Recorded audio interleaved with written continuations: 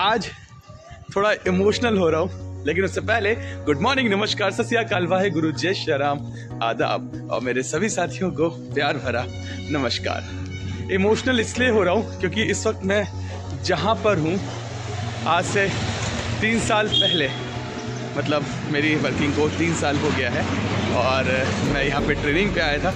वैसे मेरे सारे सब्सक्राइबर्स मेरे फ्रेंड्स को पता चल गया होगा मैं कहाँ पर हूँ, मैं इस वक्त चंदौसी हूँ, और यही वो मार्केट है, जहाँ पे मैं, अशरफ, दिनेश, बाकी हमारे फ्रेंड्स हम लोग आते थे। और ये हमारा स्टोर था, जहाँ पर लोग कोल्ड ड्रिंक वोल्ड पीते थे। और सामने हलवाई की दुकान था।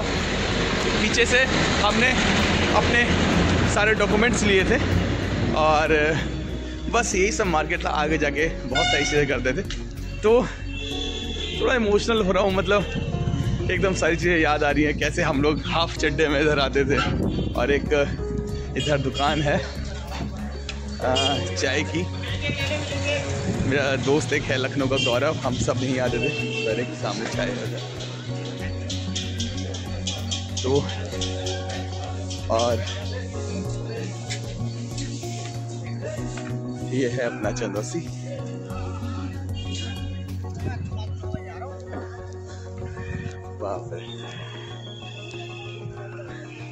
अब मैं आ गया हूँ स्टेशन, और अब मैं जा रहा हूँ जेड आर टी आई तो अब आपको मिलता हूँ सीधे जेड आर टी आई अरे यार मतलब मैं आपको बता नहीं सकता हूँ कि इस वक्त क्या मेरी फीलिंग्स है।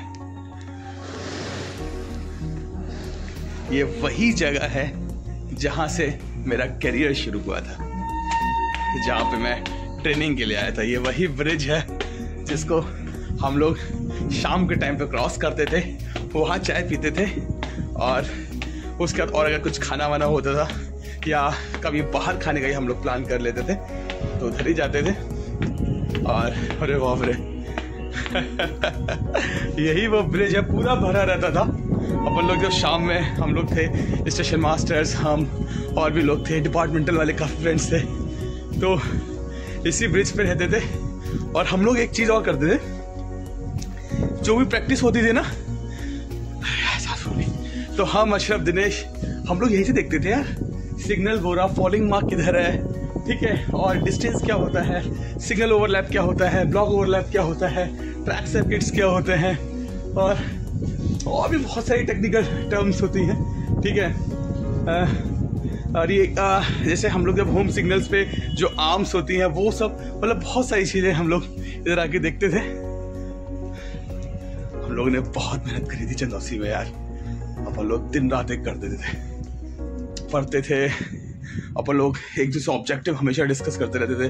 बहुत सारी चीज़ें अपन लोग करते थे। खुला हुआ है गेट चंदौसी का। अब हम जाएँगे अंदर और फिर आपको दिखाएँगे जेड आर टी आई और कहा मेरा रूम था वो भी दिखाऊँगा। और अगर कोई स्टाफ को मिलता तो उनसे मिलवाऊँगा।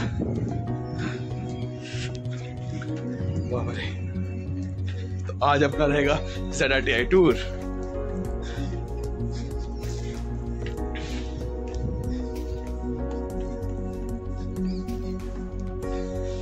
सामने अपना है और निकलते फ़िलहाल मैं भी यहाँ कैमरा ऑफ़ करता हूँ अंदर जाता हूँ फिर। लेकिन आप बाहर से देख लीजिए। ये है हमारा जेड आर चंदौसी का गेट तो जाते हैं अंदर फिर आपसे मिलते हैं। भाई भाई मैं इस वक्त अपने जेड आर चंदौसी में हूँ। और ज़्यादा कुछ तो नहीं दिखा सकता कि कहाँ पे हम लोग थे और क्या अपना किचन था क्या रूम था ये सब तो नहीं। लेकिन आप ये देख सकते हैं ये पूरा अपना जेड आर है। एकदम ग्रीनरी है पूरे उसमें। और अगर कोई स्टाफ का मिलता है, कोई टीचर मिलता है तो उनसे बात करेंगे। लेकिन मैं फ़िलहाल अपने रूम को देखने जा रहा हूँ, जहाँ हम थे, और ग्राउंड को देखने जा रहा हूँ। अरे बाप रे, सही चाहिए याद आ रही है, थोड़ा डर भी लग रहा है। तो रुको, मैं आपसे थोड़ी देर फिर से बात करता हूँ, ठीक है? गाइज़ मैं अपने हॉस्टल की तरफ़ आ गया हूँ, और ये मेरा हॉस्टल था। मैं आपको नहीं बताऊँगा मेरा कौन सा हॉस्टल था, क्या था, है ना? तो यही वो जगह थी भाई, मैं यही वो गलियारा था। ठीक है, हम दिनेश यही फ़ोटोज़ क्लिक किया, कराते थे। और वहीं हम लोग थे सारे, हम अपना सारा बैच उधर था। हम लोग खूब बातें करते थे और यहीं पे हम लोग, इसी वाले जो ये है अपना फुट ओवर इसी पे फुटपाथ है। हम इसी पे डिस्कस करते थे, मैं अशरफ हम लोग इसी पे घूमते रहते थे। और एक बार क्या हुआ था, मेरे सारे दोस्त जान रहे होंगे, ये जो जगह है इधर इधर सूखे में आग लग गया था एक बार। तो इधर एक पेड़ था, उसमें आग लगने से मतलब आग लगने वाली थी तो हमने जल्दी से जाके उसको बचाया था। तो यही है, आगे लास्ट वाला जो था वो मेरा, था मेरा अशरफ दिनेश का। बाकी इधर अपने और सारे फ्रेंड्स थे। और इधर बबलू भाई जो है हमारे, बबलू और सौदान का पहले वाला था। तो यही था, उधर अपना पार्क है बहुत सारी चीज़ें हैं इधर। बहुत सारी चीज़ें, याद आ गई, मैं क्लास का मोनिटर था तो मगर सुबह उठ के सबको देखता था। और मतलब बहुत सारे काम थे। तो लाइफ का मतलब कहने को तो बहुत सारी चीज़ें हैं। लाइफ की मेरी वो जर्नी यहाँ से स्टार्ट हुई कि जो आज जिसकी वजह से मैं आज आप लोगों के सामने हूँ, आप लोगों से बात कर पा रहा हूँ रेल की चीज़ें बता पा रहा हूँ। सबको थैंक्स मेरे परिवार, मेरे दोस्त, मेरे सब्सक्राइबर्स मेरी फैमिली एवरीथिंग सभी को बहुत बहुत धन्यवाद। यहाँ पे आना हर किसी का सपना होता है। एक रेल की जॉब आना सब, हर किसी का सपना होता है। और हर कोई चाहता है कि हम रेल में आए और ट्रेनिंग पे जाएँ ज़रा डी चंदौसी जाएँ। तो कभी अगर इसका ऑफिशियली टूर मुझे बनाने को मिला, अगर मुझे परमिशन मिली तो मैं इसका ऑफिशियल टूर बनाऊँगा। हॉस्टल कैसे होते हैं मैथ्स कैसा होता है मॉडल रूम कैसा होता है, और हमारा मनोरंजन एक सदन मतलब टाइप जहाँ पे प्रोग्राम होता है, वो कैसा है? तक्षशिला सबसे अच्छा हॉस्टल वो कैसा है?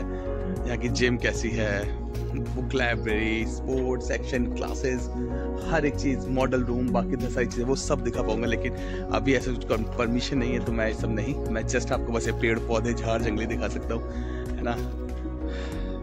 पर यह है कि भाई अपना ज़रा है चंदौसी उस टाइम हम आते थे, तब लगता था, यार, कब यहाँ से जाएँगे? और अब यहाँ निकले तरसते पूरा ग्रीनरी है भाई, पूरा ग्रीनरी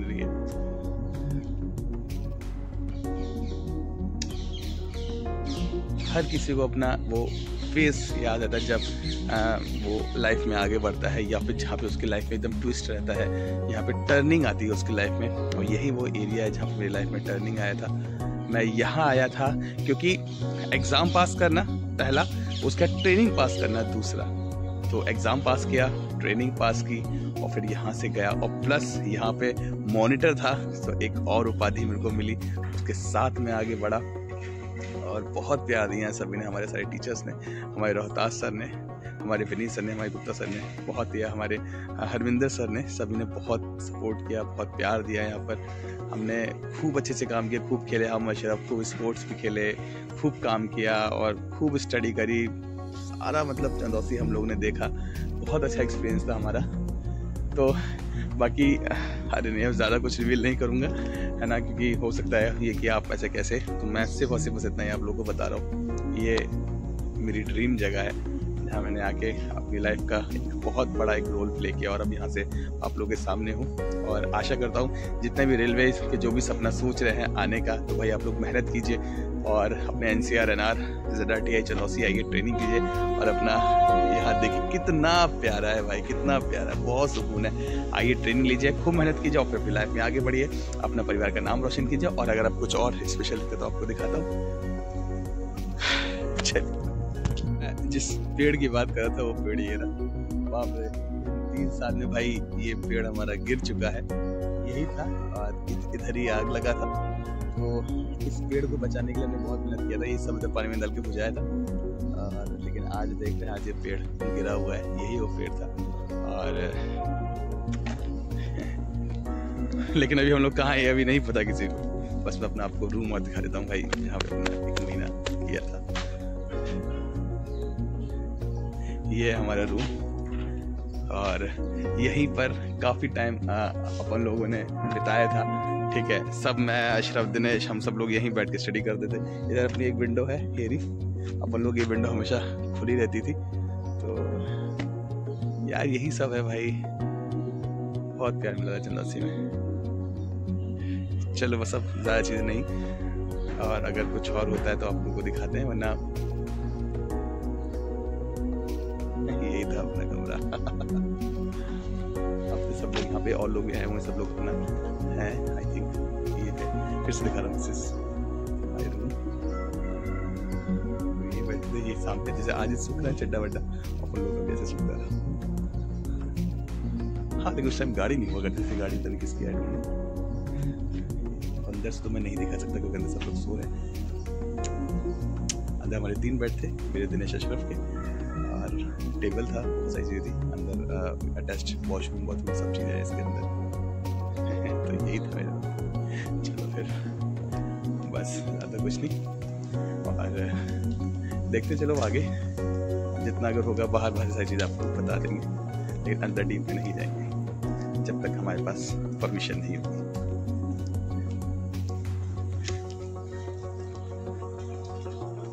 इस वाले में बबलू बबलू भाई रहते थे। चलो ठीक है। बाय आगे कुछ तो आपसे मिलता है। तो भाई, जिस ग्राउंड की बात कर रहा था जहाँ पे हम लोग क्रिकेट खेलते थे, मैं अशरफ दिनेश और हमारी सारी टीम बाकी उधर के स्टेशन मास्टर्स भी आते थे और एक हमारा टीआई भी थे तो जो टीआई की ट्रेनिंग पे थे तो हम सब लोग खेलते थे। और अपना ग्राउंड वो है पिच और मैं हमेशा बैग संभालता था। कभी ज़्यादा हुआ नहीं। हाँ एक बार हुआ था कि अशरफ ने मुझसे कहा था कि मुझे मैं तुझे फ़र्स्ट बॉल पे आउट करूँगा। और हमारी बैट लगी थी, लेकिन यार उसने मुझे फ़र्स्ट बॉल पे आउट किया था। तो ये क्रेडिट हमारे अशरफ को जाता है। तो ये सामने अपन लोग खेलते थे। यही हमारा स्पोर्ट्स ग्राउंड चलो, बाकी अब निकलते हैं यहाँ से। बहुत सारी चीज़ें थी। मतलब मैंने सोचा भी था कि मैं यहाँ पे आऊँगा। अब क्या है कि इससे पहले सोचा था तो आज कुछ मूवमेंट ऐसा हुआ कि मुझे रुकना पड़ रहा है। मेरी गाड़ी लेट है, क्योंकि मेरा स्पेयर मूवमेंट है, इसलिए मैं आ गया। और अब यहाँ पे अपना कोई फ्रेंड भी नहीं है, जो पिछली बार अपने सब्सक्राइबर्स हैं, वो लोग भी नहीं। अगर वो लोग होते तो देखते। अब यहाँ कोई नहीं है तो बस मैं अकेला हूँ। बाकी सब लोग, आप लोग जितना मुझसे हो पा रहा है, जो मेरे दायरे में चीज़ें हैं। मतलब एक दायरा होता है, कि रेल का भी एक दायरा होता है कि उससे आप आगे जाओगे तो उसकी परमिशन लेनी होगी तो वैसा कुछ नहीं। उससे जितना भी हो रहा है, वो सारी चीज़ें आप लोगों के सामने है। इसे ज़्यादा नहीं दिखा सकते, अंदर से दिखा सकते, कुछ नहीं दिखा सकते, बस थोड़ा थोड़ा आपको बता सकते भाई ये सही चीज़ें लेकिन अगर कभी इसकी परमिशन मिलेगी तो उसका एक ऑफिशियल टूर वीडियो बनाएँगे। लेकिन तब तक आप यही देखिए। और आइए चंदा सी। चलिए बाय भाई, अब सैटरडे को करते हैं अलविदा। बाय बाय फिर आएँगे। और क्योंकि इस बार मेरा रिफ्रेशर तो ऑनलाइन हो गया है लेकिन अगर नेक्स्ट टाइम ऑफलाइन होगा तो मैं ज़रूर यहाँ पे आऊँगा। और उस टाइम पे अपन लोग स्टडी को उससे आएँगे। आज तो मैं बस जस्ट घूमने आया था। और बहुत सारी चीज़ें अपने यहाँ की ताज़ा हुआ मतलब अपना रूम देखा ग्राउंड देखा और रोहतास सर से मिला था। लेकिन जो हमारे इंस्ट्रक्टर थे जिन्होंने मेरे को ऑपरेटिंग पढ़ाया था वही मेरे को मिले थे लेकिन मैं उनके साथ पिक क्लिक नहीं कर पाया। और बाकी विनीत सर नहीं मिल पाए, गुप्ता सर नहीं मिल पाए। बाकी अभी स्टेशन मास्टर मिले थे, कुछ बच्चे मिले थे, लेकिन उनके फ़ोटो इसलिए नहीं लिया क्योंकि अभी वो नए लोग हैं और अभी ठीक भी नहीं पड़ता उन लोगों के साथ। तो ये था। बाकी बहुत सारी चीज़ें मैं मतलब इवन अपना मॉडल रूम देखा एक उधर अपना सेवा भवन लाइक है, वहाँ पर मनोरंजन होता था हमारा, ठीक है? और जहाँ पे सी एन डब्ल्यू क्लासेस थी, वो देखा, अपनी क्लासेस देखी ग्राउंड देखा किचन की तरफ़ भी गया था, जहाँ पे अपन लोग का रहता है, आगे तक गया था। तक्षशिला नहीं, तक्षशिला तक नहीं जा पाया था काफ़ी आगे था, लेकिन मैं अपने हॉस्टल और अपने साइड से देखा, और यहाँ जो बच्चे का मूवमेंट्स हो रहा था, अरे बाबरे सब अपना याद आ रहा था, हम लोग कैसे यहाँ पे घूमते थे, क्या करते थे। तो ये था तो यहाँ से अपनी जर्नी स्टार्ट हुआ था ट्रेन मैनेजर की। ठीक है, यही है अपना जडा टी चंदौसी। आप सब लोग भी, जितने भी लोग N R N C R से हैं, सब लोग यहीं पे आएँगे। ठीक है, मैंने अभी जस्ट आपको ग्रीनरी दिखाई है, चीज़ें दिखाई हैं, लेकिन ज़्यादा नहीं, क्योंकि अभी ज़्यादा नहीं दिखा सकते, हैं ना? कभी अगर आगे इसकी परमिशन मिले अपन अंदर से सारी चीज़ दिखाएँगे मॉडल रूम क्या होता है वो दिखाएँगे रूम्स अंदर से कैसे हैं वो दिखाएँगे प्रिंसिपल ऑफ़िस दिखाएँगे सेवा प्लस यहाँ पे प्रोग्राम होते हैं वो दिखाएँगे प्रेयर कैसे होती है वो दिखाएँगे स्पोर्ट्स सेक्शन दिखाएँगे। बहुत सारी चीज़ें हैं, लेकिन उसके लिए वो आगे अगर कहीं फर्दर होता है, नहीं होता है, लेकिन जितना मेरे एंड से हो भाई मैंने दिखाया, है ना? और हर चीज़ का ध्यान में रखी चीज़ें मैंने किया है। तो बस यही है, बाकी आप लोग उम्मीद कर रहे होंगे, मैं बहुत सारी चीज़ दिखाऊँगा, लेकिन मैं इस तरीके से चीज़ नहीं दिखा पाई क्योंकि यार मैं भी रेल का एम्प्लॉय हूँ, है ना, और मैं इससे जुड़ा हुआ हूँ। तो मैं कुछ इस तरीके से नहीं कर सकता, जिससे ऐसा हो कि यार आपने इस चीज़ को बिना परमिशन कैसे दिखाया तो वो थोड़ा फ़र्क पड़ता है, जिसका बहुत ध्यान रखना होता है है ना। लेकिन इतना ज़रूर है कि मैं इतना आपको ज़रूर बता दूँ, जिससे कि आपको चीज़ें पता चल जाए कि हाँ भाई टी क्या है, क्या यहाँ होता है, क्या चीज़ें हैं। है ना, ये सब आपको मालूम पड़ जाएगा। प्लस वर्किंग से रिलेटेड भी आपको ये चीज़ तो पता चलेगी हाँ भाई ट्रेन मैनेजर की वर्किंग ये है ये है। लेकिन मैं एग्जैक्ट चीज़ें नहीं दिखा पाता, जैसे कि हैंड ब्रेक क्या है, या ब्रेक पान अंदर से कैसा है, या फॉलिंग मार्क क्या है, या पॉइंट्स कैसे सेट होते हैं, या शंटिंग कैसे होती है, ये सब ये सब नहीं दिखा सकता यार, ये सब भाई नहीं हो सकता। और रेल में हूँ, इसलिए सब चीज़ें दिखा भी पा रहा लेकिन अगर कहीं बाहर का बंदा हो तो शायद आप लोगों को ये भी नहीं दिखा पाता। फिर पता नहीं, मैं क्या करता हूँ आई डोंट नो लेकिन मैं किस तरीके की बातें कर रहा हूँ आप लोगों से? मुझे नहीं समझ में आ रहा है। इन सबसे कोई मतलब नहीं है।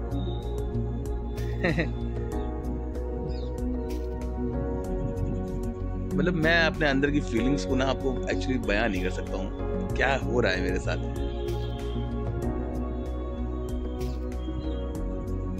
मतलब मुझे सबसे अच्छी चीज़ पता है क्या लगा? जब रोहतास सर ने मुझे देखा, मेरे इंस्ट्रक्टर थे, ठीक है?